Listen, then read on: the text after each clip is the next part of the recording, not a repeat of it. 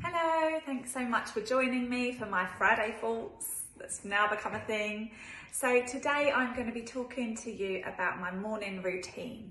Um, I'm a mum of two young children. We're currently in lockdown while I'm film while I film this, and I've still kept my morning routine going throughout, and it's probably kept me sane if I'm honest with you. Now it sounds hard work, but if you take it um, one step at a time and make these adjustments, I promise you, it will make the world of difference, especially if you're a mum, because we don't get a lot of space generally. And I find it sets me up for the day and it makes me feel better. So the, the program I follow is called Miracle Morning, but you don't have to do Miracle Morning and there's lots of different alternatives, but essentially you are carving out time for yourself every single day. And Miracle Morning, the idea is that you get up earlier. So instead of thinking, I don't have time, I just don't have time. You make time. You get up an hour earlier than you normally would. And again, you're going to think, I'm too tired already. I don't want to. This routine gives me energy. It's like going into the petrol station, refueling my tank every morning. It doesn't suck energy from me, it gives me energy. And so don't knock it till you've tried it. And like with my meditation video, you have to stick at it for at least 30 days, I think, before you really start to create that habit that feels great and feels good and natural.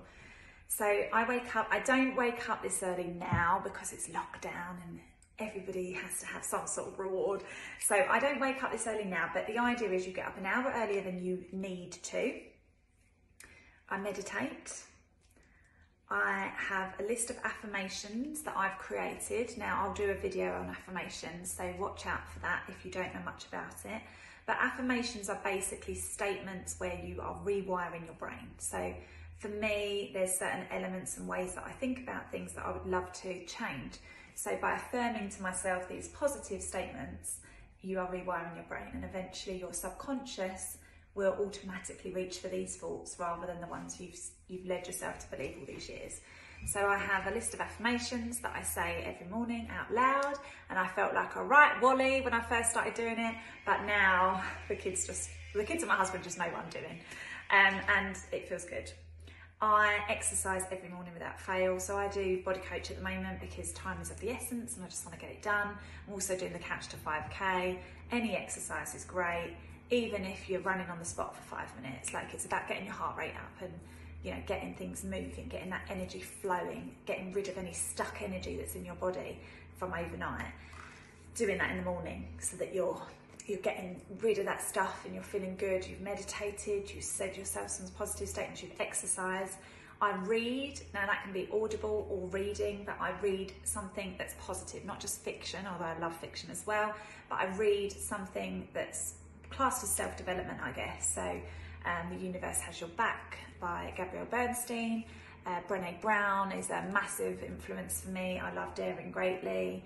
Um, Oprah's books, I love Oprah, and so I love um, to find out about new books as well. At the moment, I'm reading um, Vex King, and I'm really, really enjoying that. Good Vibes, Good Life, I think is the title, but that's really good.